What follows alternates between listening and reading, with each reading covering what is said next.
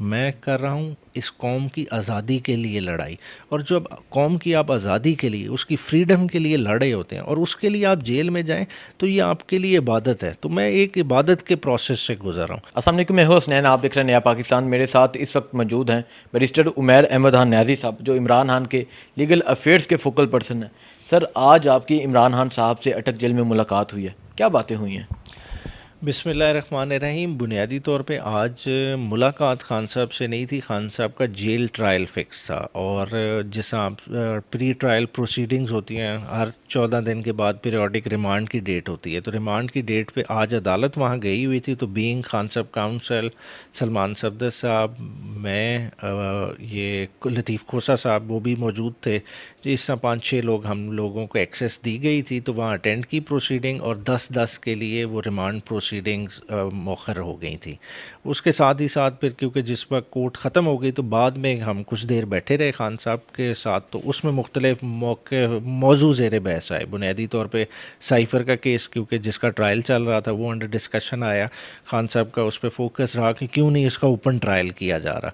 कि एक इल्ज़ाम मेरे पे लगाया गया है, जिस इल्ज़ाम की बुनियाद पे एक तो मेरी पहले अप्रैल में हुकूमत को निकाला गया और फिर उसके बाद 25 मई का वाक़ पीटीआई के साथ हुआ। फिर नाइन नौ मई का पूरा एक वाक़ प्री प्लान करके खान साहब की पॉलिटिकल पार्टी को उसकी बेसिस पर डिस्टेबलाइज़ किया गया। तो उन सारी चीज़ें इंटरलिंक्ड हैं तो उन्हें कहा इस चीज़ का एक ओपन ट्रायल होना चाहिए और इस चीज़ के लिए आप प्रेस करें।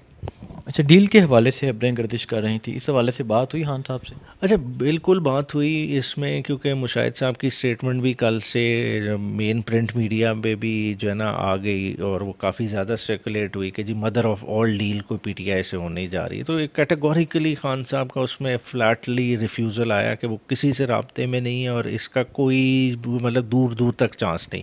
और वो क्यों नहीं है? बुनियादी तौर पर देखें, खान साहब लड़े हैं एक आज़ादी की जंग। उन्हें बड़ी एक इंटरेस्टिंग बात की। उन्हें कहा, देखें, अगर तो मैं पॉलिटिक्स कर रहा होता तो और पॉलिटिक्स की वजह से मैं जेल में होता तो ये मेरे लिए एक सज़ा होती। मैं कर रहा हूँ इस कौम की आज़ादी के लिए लड़ाई। और जब कौम की आप आज़ादी के लिए, उसकी फ्रीडम के लिए लड़े होते हैं, और उसके लिए आप जेल में जाएँ तो ये आपके लिए इबादत है। तो मैं एक इबादत के प्रोसेस से गुजर रहा हूँ। तो ये डील ये चीज़ें मटीरियल नहीं रखती जब आप इतना एक हायर स्टैंडर्ड रख के चल रहे हैं। तो और उसके अलावा उसमें डिफरेंट तरह की डिस्कशन आई कि ये क्यों इस वक्त की जा रही है? ऐसी चमक गोइयाँ क्यों चल रही हैं? बुनियादी तौर पर इसके दो पहलू हो सकते हैं। एक तो इस्टेब्लिशमेंट की तरफ़ से कि इस्टबलिशमेंट ने पीडीएम को सपोर्ट किया। अब आपको मुशाहिद साहब की स्टेटमेंट से सामने आ गया कि उन्होंने वो अपॉर्चुनिटी को यूटिलाइज़ किया। ताकि वो हुकूमत में आ जाते तो अब क्योंकि देखें, हुकूमत से जैसे ही वो निकले हैं तो वो अपने पर फैला रहे हैं। पीपल्स पार्टी और तरह से रिएक्ट कर रही है, नून लीग और तरह से। तो उन्हें एक तरह से वापस अपनी जॉब पे वापस लाने के लिए एक तसर दिया जा रहा है कि हम पीटीआई की तरफ़ रजू कर सकते हैं। हालाँकि हमारे एंड पे वो चैप्टर है ही नहीं। हम बात क्या कर रहे हैं? हमारे यहाँ जो अंडर डिस्कशन है, जिसके लिए हम डिफरेंट पॉलिटिकल पार्टीज़ को भी अप्रोच कर रहे हैं कि नबे दिन में इलेक्शन होने चाहिए। वो इलेक्शन हो जमहूरी अमल बरकरार रहे कॉन्स्टिट्यूशनल प्रोसेस है, उसके ज़रिए जो चेंज आती है, उस अमल को आगे लेके चलेंगे। तो नए साहब, आप बताएँ, हान साहब कब बाहर आएँगे? तकरीबन दो सौ से जायद केसेज हैं हान साहब पे। अभी साइफ़र साइफ़र के हवाले से फ़ैसला कब आएगा? अगर यहाँ ज़मानत हो जाती है, किसी और केस में गिरफ़्तारी डाल दी जाएगी।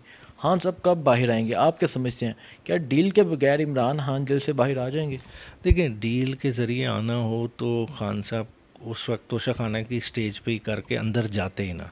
ठीक है, जब आपने गोल अपना एक हायर सेट कर लिया है तो खान साहब के अब कंसिडरेशन में ये टाइम लाइन नहीं है। मैं क्यों ये कह रहा हूँ कि टाइम लाइन नहीं है कि देखें, बतौर वकील मैं आपको पूरे वसूख से कह सकता हूँ कि मुतद मीटिंग्स मेरी अब तक खान साहब के साथ हो चुकी हैं और मुख्तलिफ़ लॉयर्स के साथ भी हो चुकी हैं।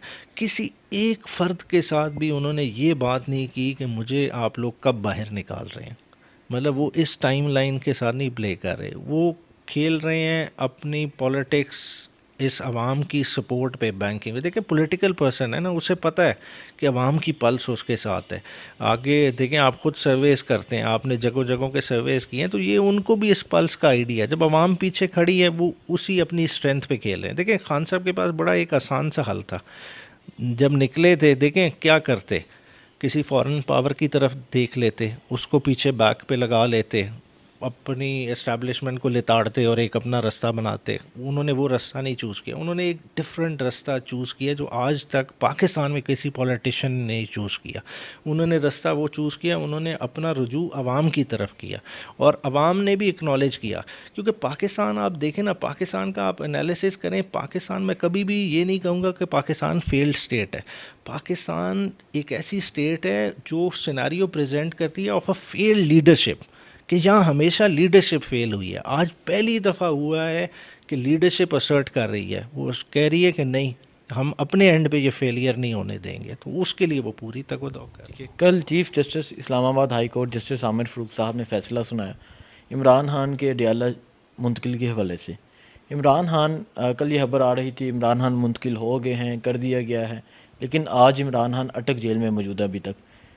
क्यों नहीं शिफ्ट किया गया और कब किया जाएगा? देखें शिफ्टिंग देखें जब तक ऑर्डर कोर्ट में अनाउंस होना एक चीज़ होती है। वर्बली वकीलों की बात हो गई कोर्ट ने वर्बली कह दिया कि हाँ जी, आपका ये एक्ट इलीगल है। आप उनको अटक नहीं ले जा सकते थे। ओरिजिनल कमिटल ऑर्डर अडियाला का था, आपको उस पर अमल करना पड़ेगा। ये ऑब्जर्वेशन मगर जब भी किसी इदारे ने उस पर अमल दरामद करना है, जेल सुपरिटेंडेंट ने भी करना है, वो तब करेगा जब ऑर्डर इन राइटिंग आएगा। आपके अपने सामने कि आज, अगले दिन, कल तो छोड़ दें आज दोपहर दो तीन बजे तक ऑर्डर ही नहीं था तो वो कैसे शिफ्ट कर सकते ऑर्डर तो तभी इम्प्लीमेंट कल फिर हान साहब के ही वकला आपके साथियों ने कहा कि मुंतकिल कर दिया गया उनके पास कौन सा कोई सोर्स नहीं वो देखें ना वो उन्होंने ज़बानी जो जज साहब से सुना तो वो उन्हें बेसिकली देखें लफ्ज़ों के चुनाव में जो है ना फ़र्क लग गया। बुनियादी तौर पे कहना ये चाहिए था कोर्ट ने ये एक वर्बल ऑर्डर पास कर दिया इस पर अमल दरामद होगा। अमल दरामद तो स्टेट फंक्शनरीज ने करना है। या तो आप तब कहें ना जब आपने अपनी आँखों से देखा हो कि शिफ्टिंग का अमल हुआ ऐसी कोई बात ही नहीं। डटे हुए हाँ। खान से अच्छा ये डटे हुए का, हम हर दफ़ा कहते हैं डटे हुए हैं। देखें मैं खान साहब का बिल्डअप देखा है। मतलब देखें पाँच अगस्त को मैं नहीं मिला था, मैं चार की रात भी खान साहब को मिला था। उसके बाद, एक गैप के बाद खान साहब को मिला, फिर मुतवातर मिलता आ रहा हूँ।